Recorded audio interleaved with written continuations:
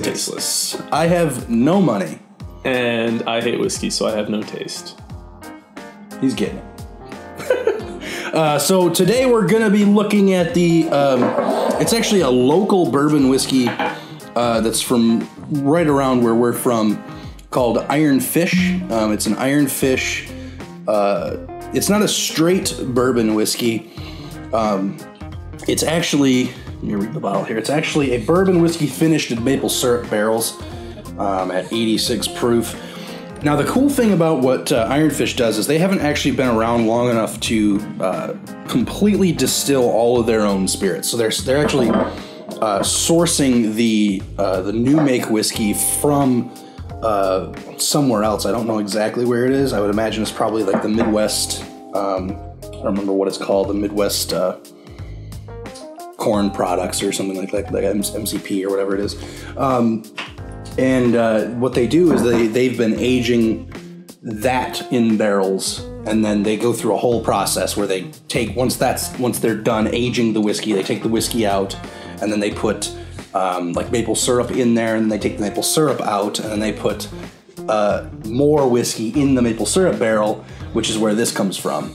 So this is uh, a, it's a straight bourbon whiskey finished in a maple syrup barrel. So it should have all of the characteristics of a bourbon, like the cherry and the, um, the kind of the corn dust and the barrel spice, but it also should have a little bit of maple syrup in there. So we'll see if maybe it's a little bit more palatable for for you. I mean, I, And if nothing else, you know it gets five stars?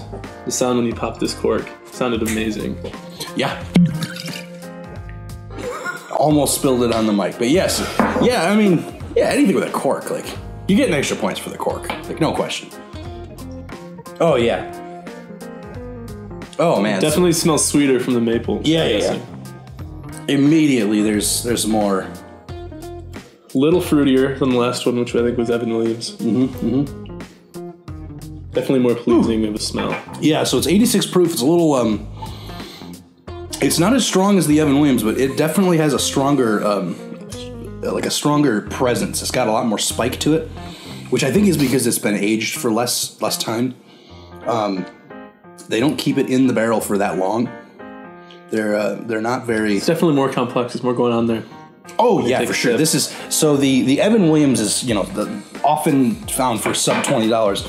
This bottle of Iron Fish uh, whiskey is typically going to run you like forty five dollars, forty four dollars, and they actually just put out uh, two new uh, bourbons. One of them is a high rye bourbon, and one is just a straight bourbon whiskey that are um, small barrel select uh, whiskeys where they, they take the whiskey, they put it in a smaller barrel to uh, make the aging process go faster. And those are like 50 to 80 or 90 dollars. You'd hate me for this, but this would make a killer whiskey sour. Oh, it would. And no. This is, well, that's the thing, right? Of course. I do like whiskey sours. all good whiskey makes great whiskey cocktails. It's just a matter of whether you can justify to yourself paying $44 a bottle for putting it in, in a cocktail or just enjoying it straight up. Like, I, I'm a whiskey guy, so I, I enjoy just the flavor of the whiskey. Hmm. So yeah, the, the the maple comes through for sure. I get the. It's not as strong of like a maraschino cherry type thing.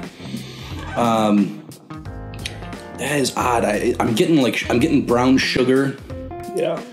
a little bit of.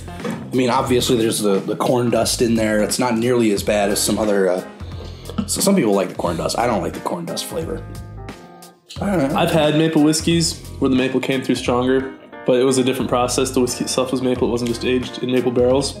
But you could, there's a hint there. Yeah, they probably added a flavor um, compound to a lot of the. Most maple flavored whiskeys have like a, they'll they'll take the whiskey and then they'll add maple specifically to the whiskey and make it so that it's like um, it wouldn't be called a, it couldn't legally be called a straight Kentucky bourbon or anything like that because um, so this is yeah I mean if you like bourbon you're gonna like the Iron Fish uh, bourbon whiskey and it, it's probably harder to find if you're not in the Midwest if you're not near Michigan near Probably ordered online.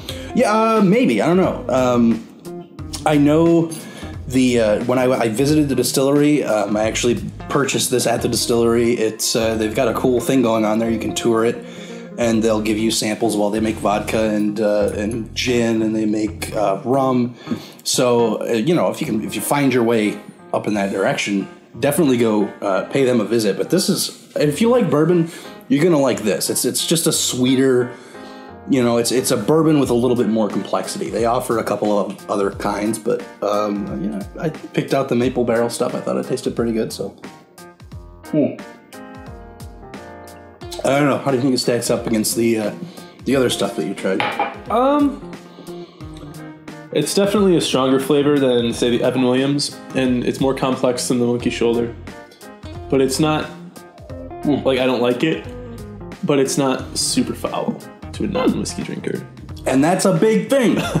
that's that's progress. That's what I call progress. So, all right. Well, we'll uh, we'll move on from here. We'll see if we can't get something a little bit more. Um, I'm excited for this one. Yeah, the the the, the next one we're gonna do, I think, is gonna be This smelled good to me. Yeah, it's going to be a little bit more. Uh, it's not more expensive, but it's probably uh, has a more expensive uh, method of aging and stuff like that. So we'll, we'll we'll see how things go in the next video.